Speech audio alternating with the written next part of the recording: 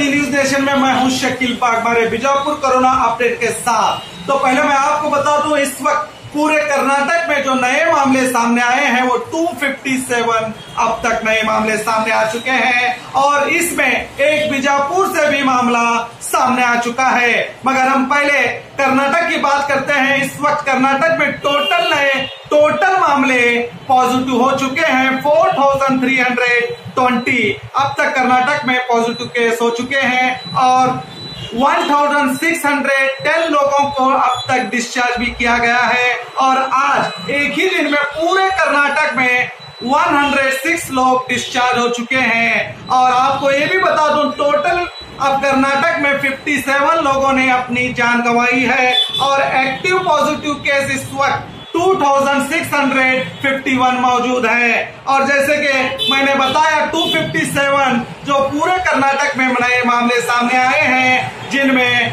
उड़पी से 92 मामले सामने आए हैं बेंगलुरु अर्बन से 9 मामले, रायचूर से 88 मंडिया से 15 मामले, और बेलगावी से 12 मामले, हासन से 15 मामले, दावनगिरे से तेरह मामले, चिकबल्लापुर से दक्षिण कन्नड़ा से एक, मैसूर से एक और बल्लारी से एक और गदक से दो मामले सामने आ चुके हैं। टिमकुर से एक और हावेरी से एक और जैसे कि मैंने आपको बताया, बीजापुर से भी एक नया मामला सामने आ चुका है, जो पेशेंट नंबर 4080 है, जिनकी उम्र बासठ साल एक महिला है, जो कंटेनमेंट जोन से आई हैं। तो अब टोटल अगर बीजापुर की बात करेंगे तो बीजापुर में इस वक्त 134 पॉजिटिव केस मौजूद हैं और 61 लोगों को अब तक डिस्चार्ज किया गया है। पाँच लोगों की जान चली गई है और एक्टिव पॉजिटिव केस इस वक्त बीजापुर में